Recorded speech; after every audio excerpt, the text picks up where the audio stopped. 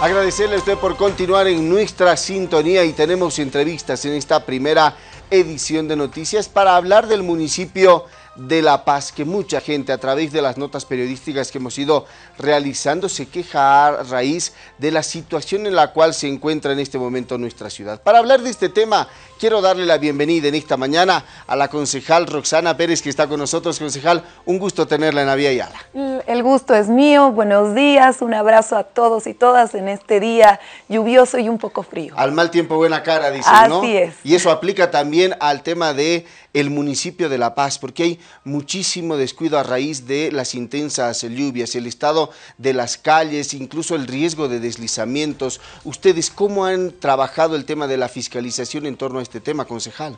Bueno, desde el día uno de eh, posicionada como concejal hemos solicitado que el mapa de riesgos sea actualizado. El mapa de riesgos emerge y deriva de la gestión 2011 y más allá de que no tiene las condiciones y características necesarias, pues no se había actualizado. Después, no sé, eh, cuando hubo, no sé si se acuerdan, el deslizamiento en la Florida, que ha sido uno de los primeros deslizamientos del municipio, empezamos a hacer una fiscalización profunda porque era evidente que en el municipio de La Paz no se tenía un plan de prevención de los riesgos y de análisis de los mismos para que justamente evitemos llegar a emergencias. Lamentablemente, el municipio de La Paz no cuenta con un plan para prevenir y ha sido parte de las gestiones que estamos realizando.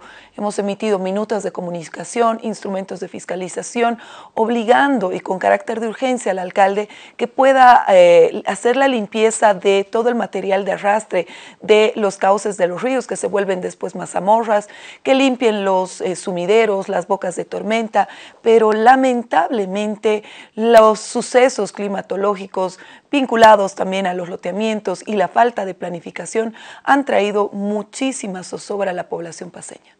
¿Qué se está haciendo en torno a este tema? Ya son varias las amenazas que se han recibido eh, y no solamente estamos hablando del tema de deslizamientos, también el tema de los transportistas se quejan por la falta de mantenimiento a las vías. Realmente las lluvias están generando que los pequeños huecos que existían cada vez sean muchísimo más grandes y esto genera también un riesgo de eh, accidentes en la ciudad de La Paz. Eh, esto se está trabajando, se está fiscalizando.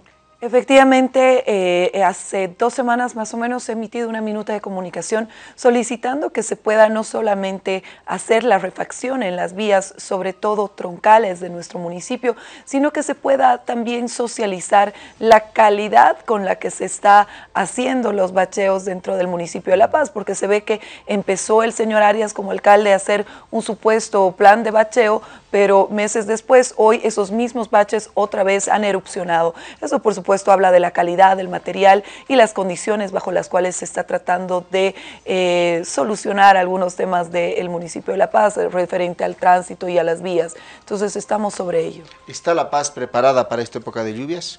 No, y tampoco creo que se tenga la intención o la proyección de que se prepare.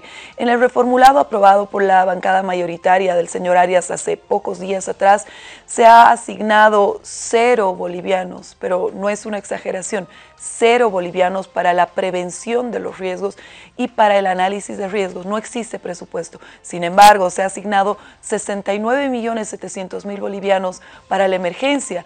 Y uno dirá, ¿por qué? ¿Por qué el alcalde está esperando que se caigan las casas de los vecinos y de las vecinas? ¿Por qué está esperando que tengamos desgracias? Eh, y ahí entonces eh, llama mucho la atención que cuando hay emergencias hay una asignación directa de recursos y por ende se salta todo el proceso de licitación pública, transparente y se hacen contrataciones directas. No está bien que se juegue con la necesidad de tranquilidad, de dormir en paz cuando hay época de lluvias eh, con la población paseña. ¿Cuánto se está destinando? ¿Se tiene previsto para la época de lluvias? Como les decía, para prevención, cero no se tiene un centavo para prevención, no se tiene un centavo para análisis de riesgos, no se ha hecho un reformulado con estas características. Para lo único que se ha destinado recursos es para la emergencia. Eso quiere decir que están esperando que haya una desgracia para poder asignar recursos cuando en realidad deberíamos estar previniendo en todas las zonas del municipio de La Paz. Han habido por lo menos algún tipo de afectación. Eh, son hasta antes de ayer teníamos 351 núcleos familiares que habían sido afectados en su patrimonio, pero también seis personas que habían fallecido por justamente eh, los derrumbes, por las mazamorras, por los deslizamientos. Y esto, por supuesto, es una obligación prioritaria, más aún con la topografía de nuestro municipio, por parte del Ejecutivo Municipal. ¿A qué se deberá esta baja en el perfil del alcalde Iván Arias? Porque recordemos que arrancó diciendo que el trabajo lo iba a desarrollar desde las calles y lo hizo unas semanas desde que comenzó su gestión. Sin embargo, ahora ya no lo hemos visto en las calles y eh, definitivamente la gente está preocupada por esta situación. ¿A qué se deberá esto, eh, concejal? Yo creo que no lo hemos visto en las calles. Yo he estado haciendo inspección in situ todos los días, viendo el tema de las riadas y demás. No lo hemos visto en las calles, pero sí lo hemos visto en fiestas, bailando. Tenemos a un alcalde caporal, eh, pero que también es pajpacu, que le miente a la gente. Está bien que le guste la fiesta, le guste el baile, pero no está bien que se baile con las necesidades de la población paseña. Se viene ya eh, nuevamente la época escolar. Eh, eh, las unidades educativas han recibido el mantenimiento suficiente, han sido adecuadas tomando en cuenta que si retomamos las clases presenciales el próximo año vamos a requerir de una infraestructura por lo menos algo adecuada al tema del coronavirus. Se está dando esto, se está pensando en ello, estoy hablándole de aquí a tres meses por lo menos, pero ¿se ha dado, concejal? Mira, lamentablemente estamos eh, en una situación de emergencia con las juntas escolares porque las unidades educativas no han tenido un mantenimiento profundo y estructural desde la gestión 2019. Hemos solicitado que nos puedan exponer de, manera eh, tangible cuál es, cuál es el presupuesto para cada una de las unidades educativas y qué es lo que se va a hacer con ese presupuesto, pero lamentablemente no hemos tenido respuesta hasta hoy. Estamos teniendo adicionalmente eh, reuniones con la unidad de gobernabilidad del Ejecutivo Municipal, pero este lunes pasado nos han suspendido la reunión y eso pone en una situación de alerta a las juntas escolares que no tienen tampoco la seguridad y la certeza eh, de la infraestructura en la cual van a volver prontamente nuestras guaguitas a pasar clases al menos semipresenciales. Estamos ya a días de cerrar este 2021. ¿Cómo evalúa el trabajo del municipio paseño concejal?